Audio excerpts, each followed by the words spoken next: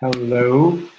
Um, good evening, good afternoon, or good morning, wherever you are. Um, welcome to this webinar to talk about the Global Open Data Index. It is a pleasure to have uh, Mor Rubinstein and Danny Lämmerhirt from uh, our team that have, have been working really hard on the index for um, measuring the state of open government data around the world.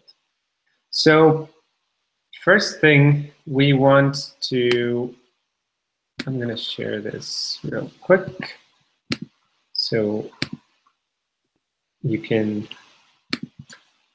see something prettier than just my face. Um, and so first of all, we wanted to talk a bit about like what the index is, uh, where it comes from, and from there we will continue to talk about how it changed for this year specifically, and what we've learned um, from the assessment for 2016. So basically, the index is composed of a survey where we assess a group of key data sets that should be collected and published by governments on the national level from all around the world. It is based, it relies on our community uh, who each year very bravely go and look for the data uh, in their government portals or in the website's transparency portals um, anywhere they can. And why is that important? Um, well, we think that these key data sets uh, can provide some sort of uh, tool uh, to follow up on how money spent, on how population is growing, on uh, different key um, social issues that we should start tackling and that open data can um, help work on. And it is mainly uh, focused on open data activists or organizations that use data as their core, but it is um, designed in a way that can be used by anyone, by everyone, um, with a little understanding of what they're looking for. And so this year, we have gone through some changes that maybe Mor you can tell us a bit more about uh, the changes we've gone through in the methodology and how we designed this year um, our survey. So, hi everybody. Um, as my third edition of uh, GODI, I'm really happy to be here. Um, so basically, this year we've done some changes in the index design. As you know, every year we look and try to see what works for everybody. It, and as we know, we can never um, please everyone, but what we try to do a bit this time is to look at our key data sets and to understand what exactly are we looking for in the key data set. And then we want to see how we actually, what we need to look in data sets in order to make them relevant. And then we need to see um, how we change them.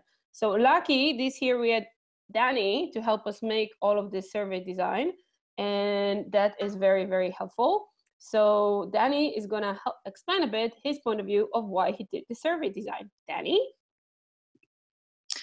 hi uh, hi everyone um, yeah thanks for the introduction um, so basically, if I want to, uh, if I if I shall explain the methodology of uh, the Global Open Data Index, as you already said, uh, Mor and Oscar, we have um, two uh, components of that. So one is the survey design, and the other one is the definition of the data we are actually assessing. So um, for the survey design itself. Um, we um, so we changed we changed a couple of questions this year that um, and, and, wanted to to have the focus more on uh, first of all, the open definition, and second, um, the open data charter. So we've seen that, or we we saw the importance that um, that we metrify and measure um, certain elements of the open data charter, because this is a, a policy tool that that we uh, um, we would like to to support with with obviously evidence, um, and yeah, this was one of the main reasons that we uh, changed the um, the survey. And the way we changed it is that um, we re removed um, questions from last year's or recent years that were more looking into data like is the data in a digital format available which could be is the data stored on a DVD and can be, um, um, for example, um, purchased or ordered. So these are these are elements of open uh, of, of data uh, publication that are not necessarily related to open data. So we really wanted to only focus on um, the key points of open data, like is it published online? Is it published maybe without any um, administrative hurdles? Is it for free? Is it openly licensed? And so on and so on. Um, we added two uh, questions too um, that look more into the, as you call it, practical openness. So uh, on the one hand, looking into data findability, and on the other hand, uh, looking into how usable do people perceive um, the data, or how, how what um, what is the perceived usability of this data set. When I speak about perceived usability, I mean that um, we look into um, or we, we assessed uh, usability by asking our submitters and reviewers to look into the data set and then to just give an assessment of um, would this, this data be useful for your use purpose? Because obviously usability can vary sometimes. Sometimes you only need a quick overview into a budget. Sometimes you really need to, um, the disaggregated figures and so on. And this is how we experimented with that. Um, but we didn't score these questions because um, they are they are still subjective, and we would like to have a first um, first overview of um, um, if this type of question works, or if we should maybe um, uh, use other questions. So, and the questions that are scored uh, really come from the open definition, and um, yeah, um, the the scoring itself was changed a bit too. So we wanted to be a bit more balanced and not give too much emphasis on or stress uh, too much um, the legal status of data and the machine readability of data, uh, which are obviously core requirements and they are still scoring quite high. But we lowered the score of these two questions and added up um, other um, or added more weight to, to other questions like is it available for free or published online and so on. So this is about um, this is all about the survey design. Um, and I can directly go into how we define the key data sets if Mo and Oscar agree. Um, I think so. Okay. Yes, so um, for the for the key data sets, um, there are a couple of things that uh, I have to talk about. So the first one is obviously what is a key data set, and it it all started a couple of years ago when it was still fairly arcane. Um, people just um, published a list of data sets, like the first Open Data Charter talked about. We should have information on this and this and this and this um, societal sector, if you want. Um, basically, if you want to cut it down, it's key data set is a set of information that is relevant for society to be published online as open data. And what does a key data set contain? It contains certain data points. So let's say, for example, pollutants that are important to, to be available around the world, like water pollutants, air pollutants, um, or it could also contain things like, um, for example, weather observations, um, temperature, um, temperature history, for example, or the development of temperature. Um, it can contain um, transactional data for spending and so on and so on. So these are the data points, basically the content. It's basically a, the content that you work with. And then there are, um, there are three points um, linked to that. So the, the first one is the disaggregation level. So how detailed is this information? The second one is coverage. So um, for which for which areas do we do we get this information? This is relevant, for example, um, looking into water quality we want to have obviously water quality for the entire national territory, uh, or we want to have air quality for the entire national territory. So we define these things. And the thir third one is update frequency. Obviously, people can't really work with data that is outdated. So we, we define update frequencies for each data set, and they vary, obviously, um, between each data set. Um, and why do we use these key data sets? That's now the second question. Um, because people often approach us and ask, why do you use these really specific data sets? The Open Data Barometer doesn't do that, for example. Why do you do that? And um, we have um, three, three answers to that. So the first one is, it is about relevance. So um, we want to assess data that has at least proven somehow in the past that it is um, useful or usable. So um, what we are doing is we are basing our statement of data relevance on user stories. So this is um, a technique basically asking who uses what data for what purpose.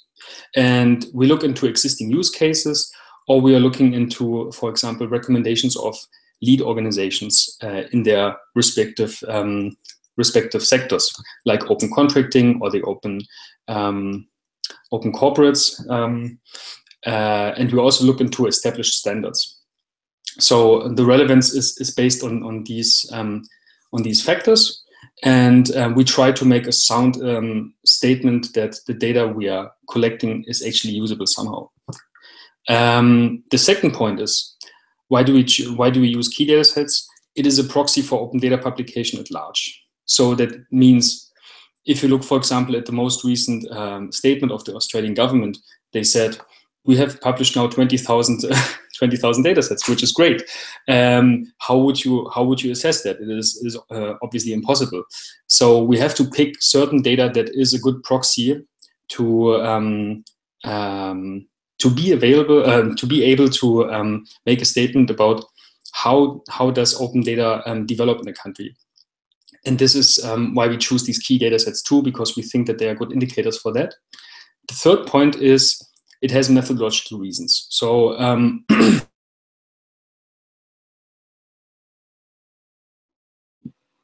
okay, it looks like Danny had some uh, technical issues.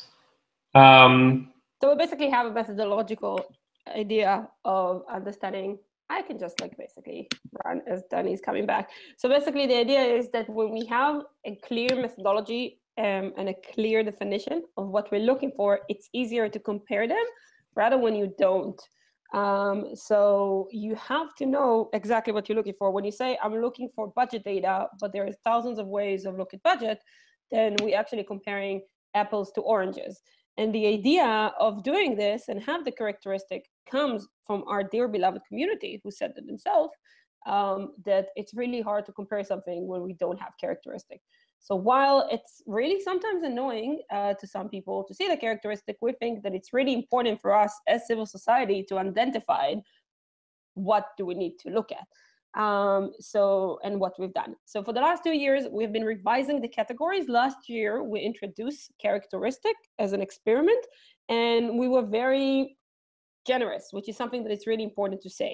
And why we were generous is because it was the first time that we experimented with it. So we tried to see what works and what doesn't work. Um, this year, on the other hand, we are a bit more strict. And why we're a bit more strict? Because we know what we're looking for. So if you look at um, if you look at election results, if you look at water quality, we use the same um, the same reviewers to review them, and we've been a bit more strict. So if you see, if you ask yourself, why this year um, I've been scored zero, what last year I've been scored more, the answer is it's become more rigorous.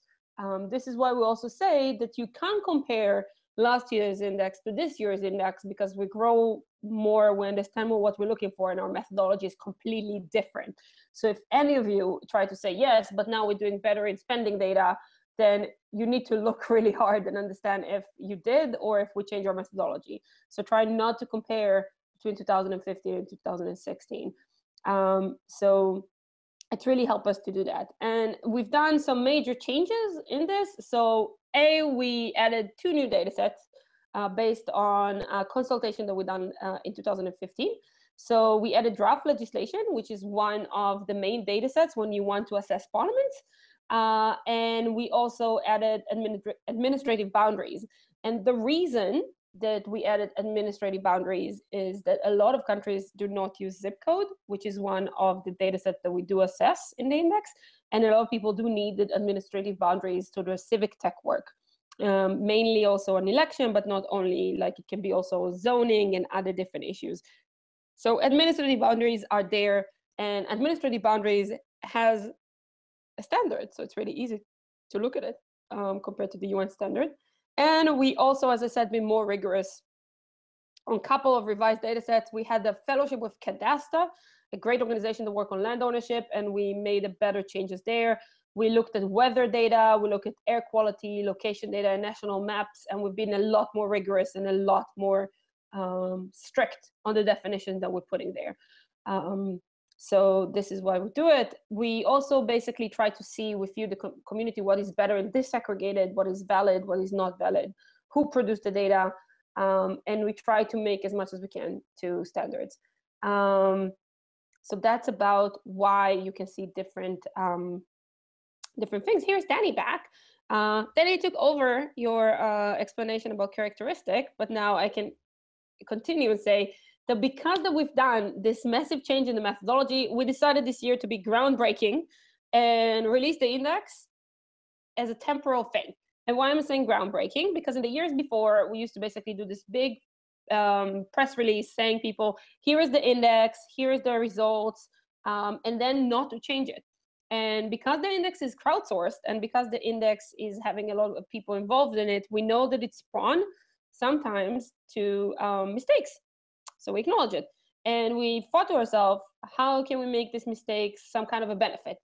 And the idea was to create this public dialogue um, like space. And this is what we do. So if you go to our um, um, forum at discuss.okfn.org, you will see a lot of people commenting about the data sets. And the idea is to create a place where people can speak to one another. Data publisher and data users can share experiences, can explain, can discuss a data set if it's valid or not.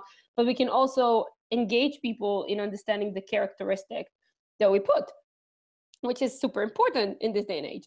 Um, and then at the end of this public dialogue phase, which I repeat, everyone can join and everyone can comment. At the end of it, we are going to basically have a look and we're going to see which data set needs to be changed, which data set doesn't need to be changed, don't need to be changed, and how can we make the index a better product. Um, and what can we learn from all of the um, all of the feedback that we're getting in the forum. And currently we got over 80 uh, comments about the index, which is amazing. Uh, and we're looking for more. Uh, the more comments and the more ideas of how to did we do a good job or if we uh, and capture the right data sets, the better for us. Um, so we do encourage all of you to come and tell us if you find the stuff that we were looking for, if you didn't, uh, and if we were assessed one category wrongly, we would really like to hear from you and see um, where was it. Um, so this is what we're doing it, and we're really proud of this experiment that we're doing, uh, and we really want to engage with you, you, you, and you. So please uh, come and tell us um, what uh, what's going on, what we didn't capture right uh, in your country of relevance, or if you don't live in this country and you have like a theme to heart, like the open contracting people who likes to look at the procurement uh, data sets, do it as well. Um, so we invite all of you to come and, and connect and um, create this dialogue so we can create a better open data publication to all. Um, so I think now we're on almost 320. So maybe, Oscar, do you want to open the floor for questions? I think uh, the easiest way, since apparently Q&A in the new Google Hangouts is a bit complicated, uh, what we could do is maybe follow, you can tweet to us, um, either mention Mor or Danny or um, Open Knowledge at OKFN and use the GODI 2016 hashtag to post a question and we'll follow up uh, on it and try to answer all of them at the end of the call. Um, because I think there is one very important question that we should cover, and it is what have we learned from measuring from uh, the assessment of GOTI this year?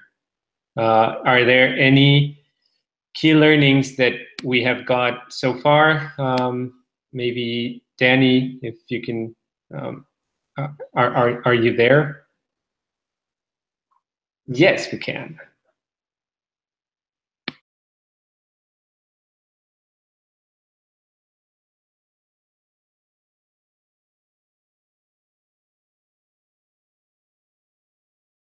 Yeah, I think you, if, yeah.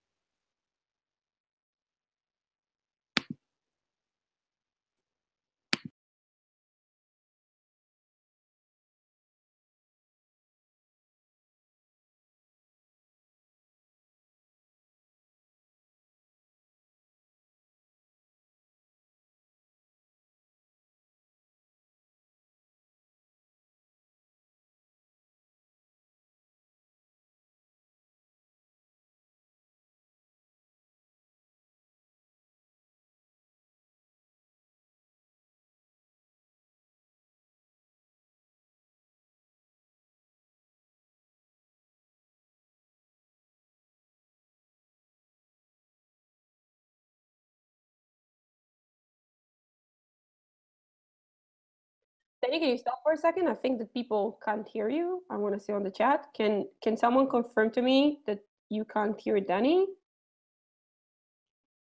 I can hear you, but I think the people in the chat can't hear you. So if someone can please write to me on the live chat, that would be helpful. Nani, maybe, or Catherine.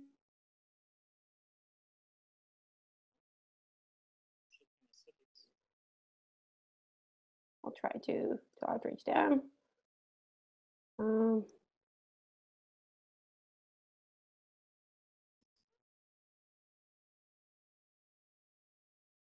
I'm just asking. Um, okay, let's try to do it now uh, and see if it works, Danny. Can't hear Danny. Okay, so Danny, we can't hear you, according to Catherine. Thank you, Catherine. Um, Yeah, people say they can't hear you, Danny. Uh, so if you can go in and out, that will be great. And in the meanwhile, and maybe turn off your like videos. Try to come into the Hangouts um, in a second. Cool. So while Danny's speaking, thank you guys uh, for helping me. Um, you also great. So basically, what Danny tried to say is, let's see if we can hear Danny. Danny, can you Hi. speak? And let's see if the community can hear you. Community, please help and tell me. Please. And he said, community, please hear me. Community, please hear me. Can you hear me? Ground control to Major Tom. He just, he, yeah. Okay, Danny said that we can hear you. Great, Danny, speak. Okay, perfect. So um, I don't know how much you heard, but um, just to to um, go back to the data quality uh, aspect. So just to wrap it up quickly, data quality is an important issue for us uh, for the entire research process. Um, and uh, when I'm talking about data quality, I don't mean necessarily data structure or you know um, syntax or coding or whatever, blah blah. Um, I'm I'm talking about um, uh, the representation of data. So how is data presented online? Because data can come in, in a lot of forms. You know, it can be a dashboard, it can be a visualization, it can be this and that. So, um, and for data quality to assess, um, for example, we often have these hurdles that we don't find metadata that describe um, the information. I can only talk about um, one example I came across a lot uh, with weather data, for example. So um, if I assess weather data, I often have um, information on temperature, I have information on rainfall and on other things. And sometimes this information is not included in a data set but I can't interpret is it, is it now that they don't publish this information or is it just not relevant for this time and date because there is no rainfall for this date? Um, and that means that metadata is really important for us to interpret and to understand the data, um, especially since we use these, um, um these specific um, key data sets. So metadata is, is, is really crucial here, um, or any explanation about the data. sometimes it's also um, it can also be that the aggregation level is hard to evaluate.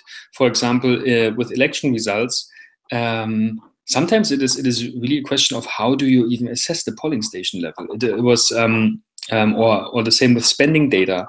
Um, you have spending data on contracts, um, public procurement, and where do you draw the line between? Is it now uh, where where do you where do you can identify uh, an, an individual transaction. Sometimes that's a bit hard to um, to tell. So aggregation level is also something that is important.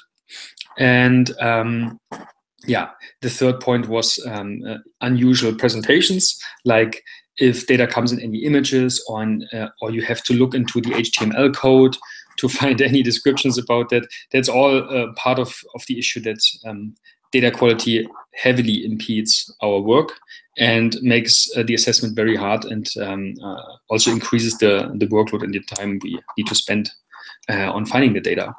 And vice versa also um, it is important for um, for the regular users if you think. Um, maybe Mor you can talk about data findability quickly I'll be happy to speak about data findability. Where is the great comics that we have about the, the great image? So this year we asked Andy Dickinson, who is great, um, to do some basically uh, images to explain the index in a more relatable way. Um, so it's pretty cool. So you can see the usual data suspect. And the idea is that data is out there all the time and it looks almost the same. Uh, and sometimes it's actually the same data sets in different places. Uh, and sometimes it's different data sets that give the same answer to the same questions, but in different places. So you can't, you need to basically combine them both in order to find them. Um, so data findability become a crucial thing. So if you think about it in the past, we said that all the data is going to be on an open data portal um, and it's going to be saved there. But in reality, and we see it specifically in the UK, the data is not updated on the portal and you have to go to specific department um, website in order to find it. And that can be super much of a hassle. Um, so if you're looking at, um, for example, um, just the spending data of the UK, you can finding in four 40 different URLs. Guess what you heard? 40 different URLs because you can't find data anywhere uh, in one place. Uh, but moreover, you can't even find it on the portal. Uh, sometimes you can find it on the portal, but it's not the full one, and the government decided to publish it on different places. And I think the data findability and the idea of finding it shows also about usability because if you cannot find the right data that you're looking for or it takes you forever, you can't use it. And we always speak about we need to show the impact of open data, and we need to use it. But if you can't find it, then you can't use it, right? Um, so we need to think, and I think the index show it really prominently, how we find the right data set and how we make them even findable for users. And if they're not on the portal, that also means something. So how can we make it more relevant for that? And how can we make sure that we capture it in one place? So this is why we, we see a lot of data findability. And this is also why we do um, the public dialogue, because we know that sometimes we just can't find it and the government can and they can show to us and then we can give them a score. So we hope that by um, looking at it, government can get a bit more and publishers can get a bit more of understanding where the data is and where the data is not and why the user can't find it. So that's about that. Okay, so um, maybe one one um, small addition be before I move to um, the what does zero percent mean question.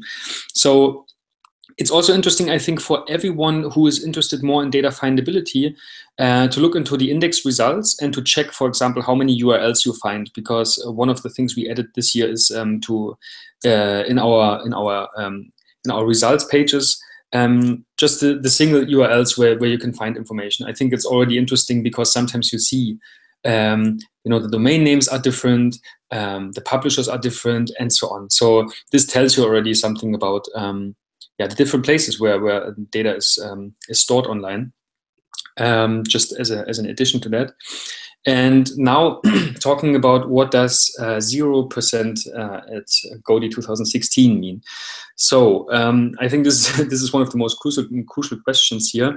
Um, it basically means two things. So the, the first the first point is we we often or we sometimes find data gaps. So data gaps is from the um, from the United Nations lingo um, inspired by the data revolution, basically just saying that um, sometimes governments don't provide um, certain information. They don't produce certain information. And um, for example, because their administrative systems don't have any procedures in place or because their statistical systems um, don't cover certain information. It doesn't matter what the reason is, but the point is governments from the from the starting point already don't produce certain information. It can be uh, air quality measurements in West Africa. It can be postal codes that are often not um, established in, in, in, in, certain regions in the world. Um, it can also be, for example, um, now I, I'm missing the, the third example. Anyway, but so we find these data gaps land registries yeah. Land registries was the was the third example i wanted to mention. So um, that's one one point. If we don't find these these um, the data obviously it's not available. So um, it means that that um, it can't score at all um, in future we we would like to um, experiment with a more sensitive ranking which uh, takes into account the country context because obviously at the moment it's penalizing countries. And this is not um, this is not uh, i think the most ideal case how we could design the ranking or any form of presenting the um, the results of GODI um, but this is something that we have to experiment in the in the future or think about and your input would also be very welcome um, on that um, then the second point is, so we also have a 0% score if the data is not compliant with the key data set. So um, what does it mean? It basically means that uh, often we defined um, um certain aspects of the key data set as required. So all of the information must be somehow available. That means, for example, that budget information should not only contain a statement of how much budget is allocated to each um, government unit, but also um, it should be disaggregated into, uh, let's say, programs or um, yeah, uh, the next the next um, level of disaggregation, if you want. So and just as an example. So and if the if we don't find all the required information online we say that the data is not published the data is not uh, is not existent online. Um, that's basically it. But if we find all the information online then we do the assessment um, and and refer basically all our survey questions to all the information we find online. Um, but yeah, there are some issues with that that we we learned about that this year. Um, so we have, for example, issues that uh, certain data categories are very precise, uh, especially data characteristics where we have existing standards like uh, open contracting or, um, or let's say the, the, the public procurement um, data category we are measuring, or also environmental data we are assessing, like air quality or um, yeah, um, water quality. Others are still fairly broad, like um, budgets, for example, or even spending, because we don't specify um, uh, on what um, or which which parts of the spending we want to look at. We look into the transactions, but we don't look, is it now spending for loans, for grants, for whatever. So for subsidies. Um, so um, the problem is sometimes here that there are there may be at least three three critique points we can mention. Um, the disaggregation level of our key um, data sets is perceived as an issue. So people from the community got back to us and said, well, um, the data is simply not provided. Um, like elections data and polling station data is often not provided. Why would you assess that? Um, so it appears to be overly harsh. But um, we think that still polling station data is the most uh, is the most disaggregate you can get, and the disaggregation level should um, should uh, further be supported. Um, not sometimes also the disaggregation level appears to be not feasible to assess. So, for example, um, with water quality, we face the issue that uh, water quality is um, often collected on a local level, and what we would need to do in order to get disaggregated um, information for each water source in a country, uh, go into different water providers, for example, and look if uh, on the pages of them uh, of these water providers, I mean, and then look um, if they publish data or not.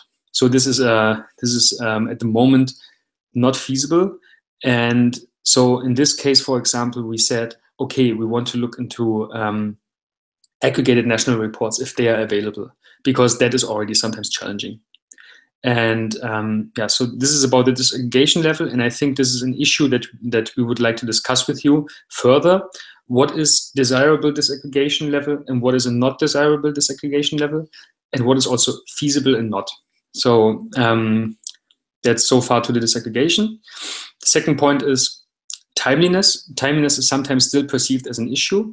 So um, the update frequencies we, uh, we define are sometimes seen as uh, overly ambitious, especially for national statistics, and we definitely have to refine there. The third point is sometimes people say that single data elements that we have in our key characteristics are not entirely crucial. So they're, they're, not, um, they're not the most crucial ones to have, like, for example, um, addresses of companies in a company register. Um, and we would, uh, we would like to open the debate for that and also maybe have a more open discussion about, okay, which data elements should we then include? Should we um, should we include other data elements, or maybe um, should we maybe also be more um, more open about the data we are assessing? So that means that we don't have a hard stance with required data, but have more optional data that people can choose from. But this would then basically mean that we have to have a good argument to say that each of these data elements are equally important somehow. So, um, and these are these are questions that we that came up um, during our assessment, and we would like to use also the public consultation phase to uh, address these questions together with you in our forum. Um, I would say I that's that's where I'm stopping, and maybe uh, Mor and Oscar want to add here.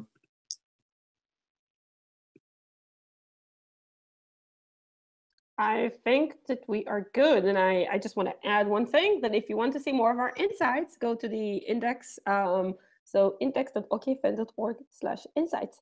Uh, you can also add your insights to us. So please send us your blog post and we will uh, publish them if they're relevant and connected. Um, see uh, an example of what the Open Contracting Partnership did, um, which is actually looking at all of the um, index results about um, procurement and speak about it. But that's for me. Um, because I, I think we want to open the floor for question, right, Oscar? Yes, exactly. So um, if you want to use the chat in the um, YouTube live uh, chat uh, next to the to the video window, or if you want to use Twitter, you can just use uh, the GODI16 hashtag and um, tag OKFN. Uh, so we have one. You we have three questions so far um, from Martin. Hi, Martin. Uh, so the question was if the ranking places can change uh, after the um, public dialogue uh, session. I don't know if uh, who wants to answer that one. I mean, it, that all depends on how um, how the dialogue develops. So I can totally see that. For example, if we say um, we spot evident mistakes, like um, saying, you know, we find spending data that is um, that is actually budget data or executed budget or something, then we would obviously have to um, um, correct that. And if we can't find spending data that that would replace this budget data, then we would obviously change the score. And in the end that would also affect the ranking. So um, i think that is open just to how the uh, how the um, discussion develops. So please do feel free um, to also propose. Maybe if you find mm, data sets that are more representative please please do um, um, send them over to us through the forum and then we can um, get in dialogue with each other. So and just to re-emphasize, uh, in this uh, post-news era, that we did write that the uh, ranking can change or may change. Uh, so if your government said that they're currently number 20, that's great, uh, but uh, make sure that they understand this is an initial, um, um, like basically ranking. And I can send you something that the Australian um, media did when they wrote there clearly that this is an initial um, ranking and the full ranking will be published uh, by mid-June. And again, we want to do that so we can make sure that we put the right data sets in. And it's really good to see already even government people um, telling us when we gave them a high score and they were like, no, actually, this does not exist. So just to let you know. Um, so it's really important to get all your feedback about stuff that exists and stuff that we miss, um, haven't done very well.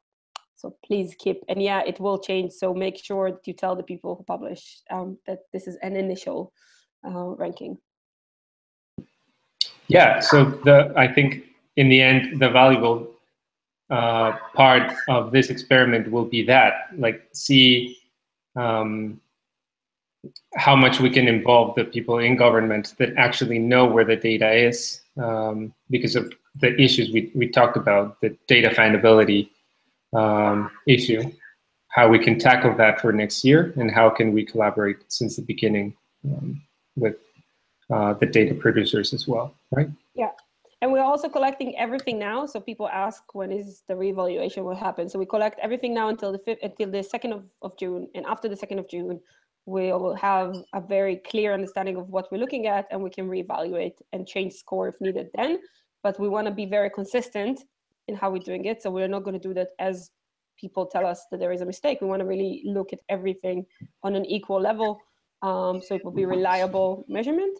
Um, so it's not going to happen in the next couple of days. It's going to happen after the 2nd of June for these reasons. Yes. So, and there's another question for Danny. Uh, how deep into the data set should one look uh, into in order to assess it for the index? Is if it's published, but can't be used, should one try to use it? Uh, for example, visualize it or cross it with another another data set before evaluating? This is a very good question. this is a very good question. So I would say, so normally um, throughout our process, what we did is um, basically looking into different websites and then um, if you can find all the information that we specified, then this should be this should be enough. So there is no need to. Um, I don't know if I understand the, the question correctly, but there shouldn't be a need to to um, to link the dataset to something else to make every any cross references or something. Um, I think in terms of um, the le level of detail, that depends a bit on the data category. Like um, with with company registers, if you if you look into company registers, we want to assess if um, a company register provides information for um, for the entire country. This is sometimes hard to assess if you have one company register and you have to see if companies are uh, listed um, in different regions and so on. So this uh, requires a bit more work. Um, and uh, yeah, to, to make a statement basically to say that um, this data is actually covering not only one region but the entire um, the entire country. So uh, I think uh, it depends a bit, but uh, you can also post something on the Discuss forum, and um, then I'm happy to expand a bit more if you have a question directly for one data category. And um, also to to say a bit more, if you go to goodtables.io, which is a new frictionless data that is coming out of Open Knowledge, you can also see um, how you can check the real quality of schemas of tables uh, and it's free to use. So we haven't used it in this index version yet because um, it's we we are trying to understand how people can actually connect to relevant data sets so you can see if their quality is good uh, and if they're usable. Uh, but if you for now looking for any kind of data set that want to see if it's usable and it's the if the quality is okay, just use use goodtables.io. We're very proud of that product and uh, we'll be happy to get your feedback about it as well.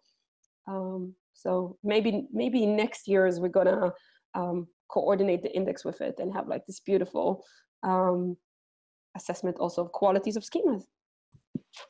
Maybe just one one point to add to um, how deep you should go into the assessment. I think uh, actually the the current I wouldn't say controversy, but at least uh, the upcoming you know uh, debates we have around spending is really interesting. If you assess spending data, you know um, um, which which types of spending data do you find, for example? That actually applies to every data category. You know, which which data do you find and how are they presented and so on and so on. That gives us a more nuanced understanding of what we are actually measuring, because sometimes you know um, we are still not we are still not overly precise. So please please do document these things because that also helps uh, informing the key data sets in the end. and please do also engage in the debate about the key data sets then. Just uh, a last add-on. Over to you, Oscar. Yeah, so we have, um, well, it's two questions that are related uh, about the time, and I think Mor mentioned it, but they're asking when will we have answered to all of the entries in the forum. Uh, yeah, so one is when we'll be uh, finished with the evaluation of the submissions um, that are have comments there, and the other um, when will be when will we answer to all the entries in the forum. So Danny did share a massive table that like shows all of the questions in the forum and who answered them and why and how. It's fairly transparent. Um, so that it, Danny can probably share the link again and you can see uh, when we answering in how, because sometimes we do speak to reviewers, sometimes we do it ourselves. We also have other stuff to do, um, but we try to get it as fast as possible so we can actually answer each and every one of them. Um, so this is going to come in the, up, the upcoming month. It doesn't mean that we're going to change the index specifically uh, while we do it, but we try to make it, as I said before, systematic as possible, so it will also be very reliable.